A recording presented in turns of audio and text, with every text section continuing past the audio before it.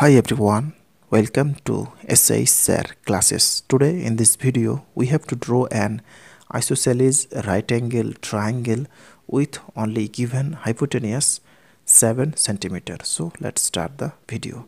First of all roughly discussing here the calculation first. So first drawing here an isosceles right angle triangle roughly ABC. So this is ABC and angle B equal to 90 degree and hypotenuse 7 centimeter this side and this side are equal. So given AC so AC equal to 7 centimeter two equal side AB equal to BC and angle B equal to 90 degree. Then by Pythagoras theorem height square plus base square equal to hypotenuse square. So AB square plus BC square plus sorry equal to AC square implies that AB square plus BC equal to AB so AB square equal to this is 7 square.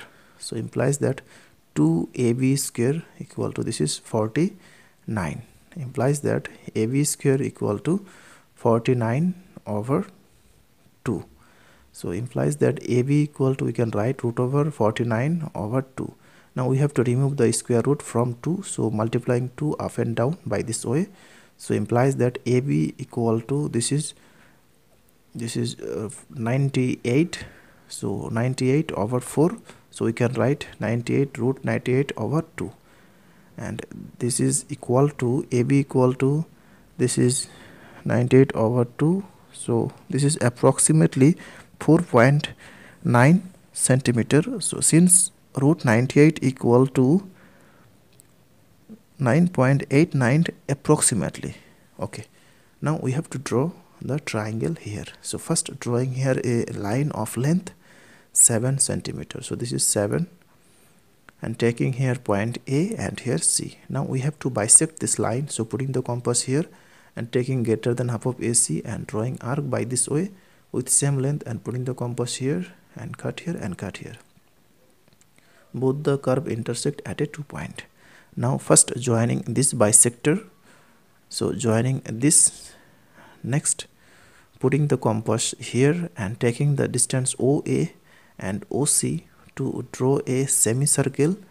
And the semicircle and the bisector meet at a point B.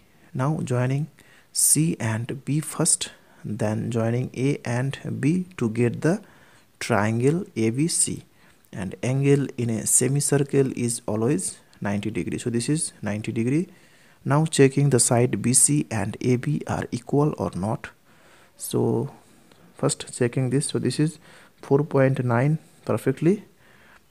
And now checking this side. So this is also 4.9 centimeter so BC equal to AB side. So this is 4.9 centimeter. This is also 4.9 centimeter. And AC equal to 7 centimeter.